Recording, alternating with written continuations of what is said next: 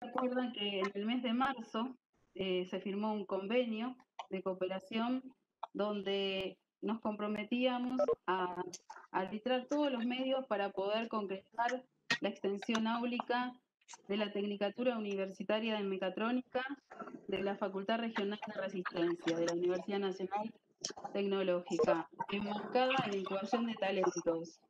Una de las principales arterias del Silicon Misiones se firmó en el convenio entre la provincia de Misiones, la Cámara de Representantes y la Facultad Regional de Resistencia en el mes de marzo.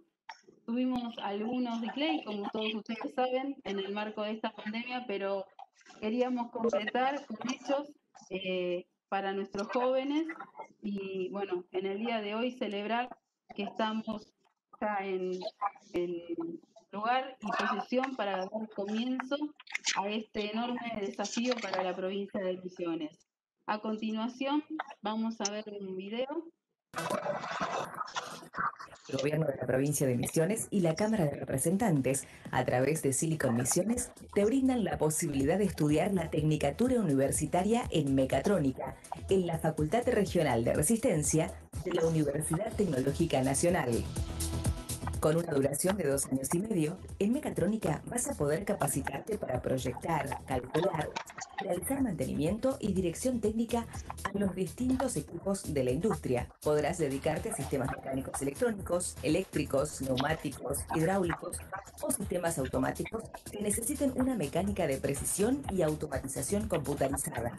Vas a poder trabajar en cualquier empresa industrial o agroindustrial de la región. La formación de técnicos universitarios en mecatrónica como una creciente necesidad que vincula también al uso de las tecnologías de la información y la comunicación.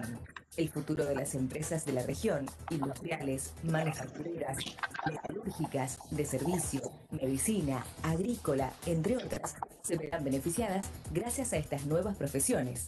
Este tipo de formación profesional aparece como una de las más valoradas por las compañías, una propuesta más de Silicon Misiones, desarrollando talentos para potenciar la economía del conocimiento.